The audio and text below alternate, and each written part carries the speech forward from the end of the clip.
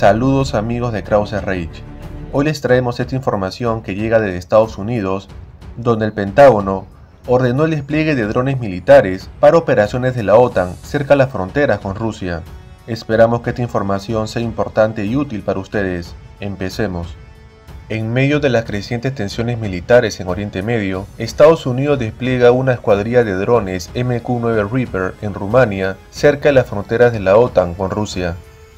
Llamado por los propios estadounidenses Hunter Killer, este tipo de nave no tripulada fue la misma con la que Estados Unidos lanzó una fuerte ofensiva aérea contra el general iraní Qasem Soleimani.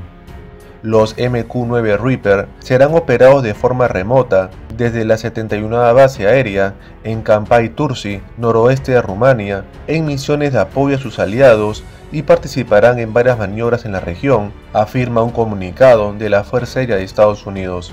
Esta misión ha sido totalmente coordinada con el gobierno rumano.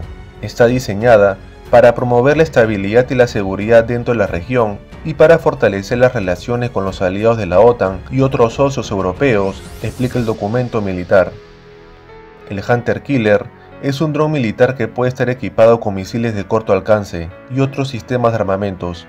Ha sido utilizado en numerosas operaciones militares en Oriente Medio, donde mostró un excelente desempeño, sobre todo neutralizando objetivos en movimiento y también usado como una fuente de recolección de información de inteligencia.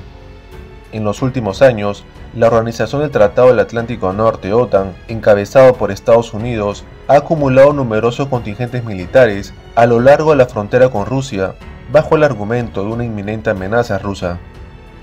Washington también ha reforzado sus actividades de espionaje cerca de las fronteras marítimas rusas, así lo ha manifestado la inteligencia de Moscú. Por su parte, Rusia considera que estas actividades militares son una provocación y advierte que pone en riesgo la seguridad de la región y del mundo.